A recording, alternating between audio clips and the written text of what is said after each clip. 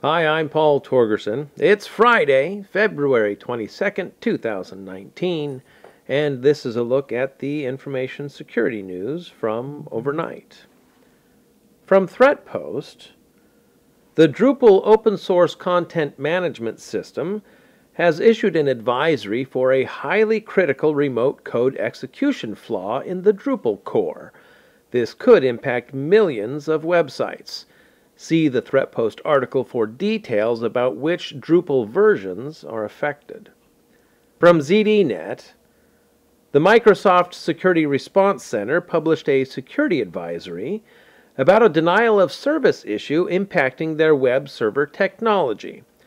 There are circumstances in which Internet Information Services processing HTTP 2 requests can cause CPU usage to spike to 100%, effectively blocking or at least slowing down the entire system.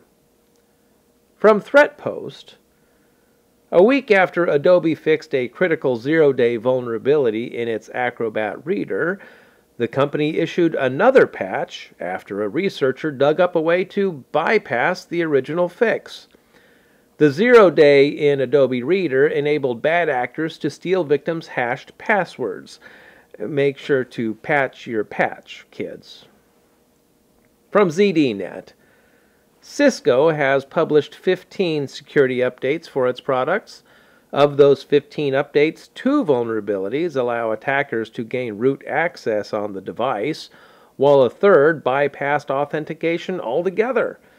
Go to ZDNet or Cisco for the full list and patch information. And last this week from SC Magazine, personal health information for 974,000 University of Washington medicine patients were exposed for most of December 2018 due to a misconfigured database. Fortunately, those records did not contain patient financial information or social security numbers.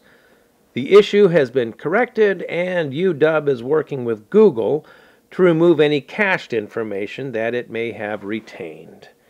And that's all for me this week. Have a great Oscars weekend. I still don't understand Roma as Best Picture. And until Monday, be safe out there.